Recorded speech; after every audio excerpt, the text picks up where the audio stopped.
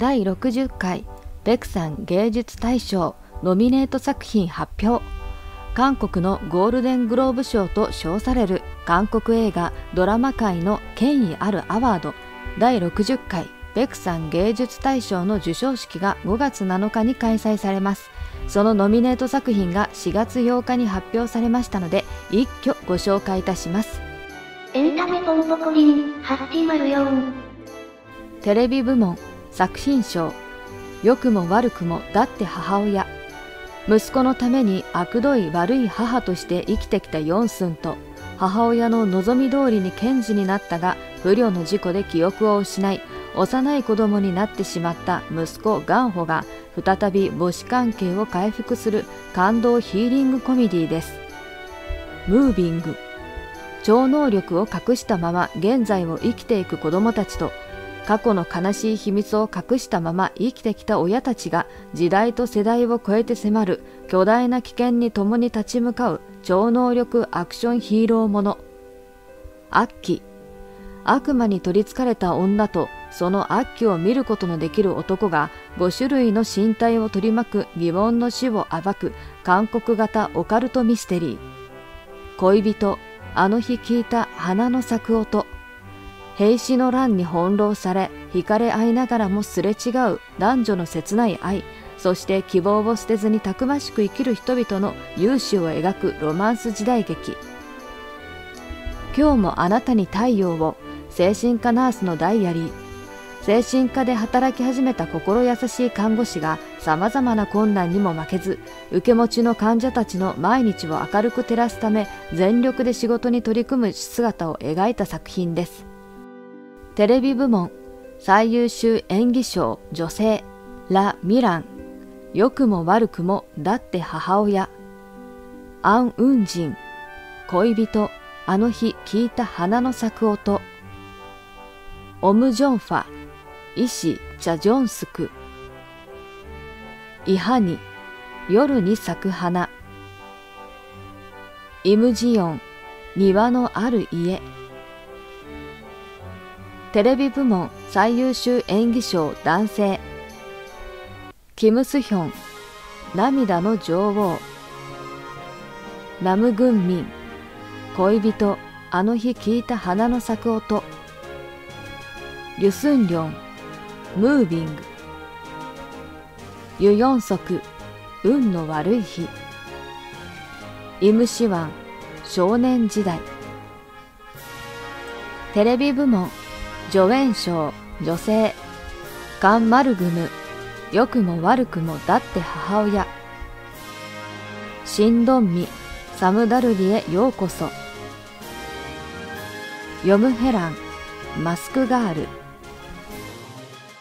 イジョンウン運の悪い日。チュミンギョンヒップタッチの女王テレビ部門助演賞男性。ギョンス、ソンさん、弔いの丘、アンジェホン、マスクガール、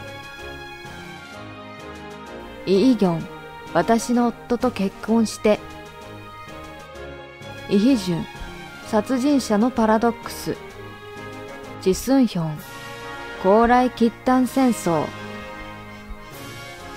テレビ部門、新人演技賞女性、コユンジョン、ムービング。キム・ヒョンソ、最悪の悪。ユナ、誘拐の日。イーダム、今日もあなたに太陽を、精神科ナンスのダイアリー。イハンビョル、マスクガール。テレビ部門、新人演技賞男性。キム・ヨハン。殺人者のパラドックス。石ウ少年時代。維新義最悪の悪。イ・ジョンハムービング。イ・ジョンウォン夜に咲く花。テレビ部門演出賞。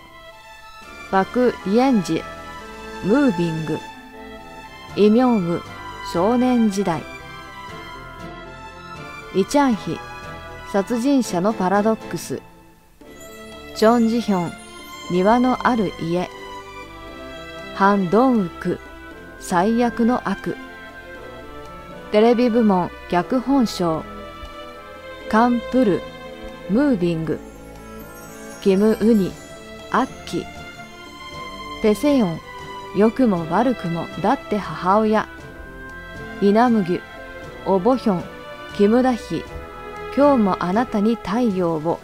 精神科ナースのダイアリー。チョン・ゴウンイムデヒョン。LTNS テレビ部門芸術賞。キム・ドンシク。イム・ワンホ。クジラと私。ヤン・ホンサム。パク・ジウォン。アッキ。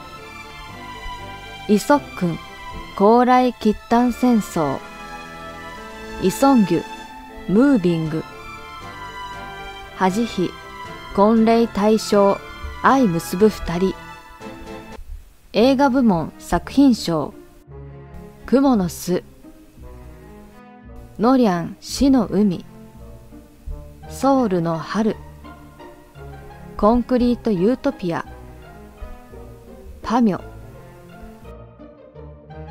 映画部門監督賞。キム・ソンスソウルの春。キム・ハンミンノリャン死の海。リュスンワン密輸。オムテファコンクリートユートピア。チャンジェヒョンパミョ。映画部門最優秀演技賞女性。キム・ゴウンパミョ。ラミラン市民読碑ヨムジョンは密輸イハニキリングロマンス。チョンユミスリープ。映画部門最優秀演技賞男性。キム・ユンソクノリャン死の海イ・ビョンホコンクリート・ユートピア。ジョン・ウソンソウルの春。チェミンシクパミョ。ファン・ジョンミンソウルの春。映画部門助弁賞女性。キム・ソニョンコンクリート・ユートピア。ヨム・ジョンは宇宙プラス人2部。ヨム・ヘラン市民読碑イサンヒロギワン。チョン・スジョン雲の巣。映画部門助演賞男性キム・ジョンス密輸パク・グニョン遠足。パク・ジョンミン密輸ソン・ジュンギファラン。ユヘジンパミョ。映画部門新人演技賞女性。コミンシ密輸キム・ヒョンソ。ファラン。ムンスンは秘密の丘。オウリ地獄万歳。イムソヌ世紀末の愛。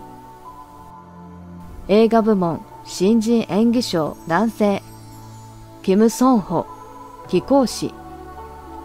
キム・ヨンソンビッグスリープ。イドヒョンパミョン。ヒョク万分の一秒。ホンサビンファラン。映画部門脚本賞。バク・ジェンイェキリング・ロマンス。ユジェソン。スリープ。イジウン。秘密の丘。チャン・ジェヒョン。パミョ。ホン・インピョホン・ウンチャン。イヨンジョン。キム・ソンス。ソウルの春。映画部門芸術賞キム・ビョンイパミョ。イモゲソウルの春。チョン・イジン雲の巣。チン・ジョンヒョンザ・ムーン。パン・ヒョギュンソウルの春。最後映画部門新人監督賞キム・チャンフンファラン。パク・ヨンジュ。市民読碑、ユジェソン、スリープ、ジョヒョンチョル、君と私。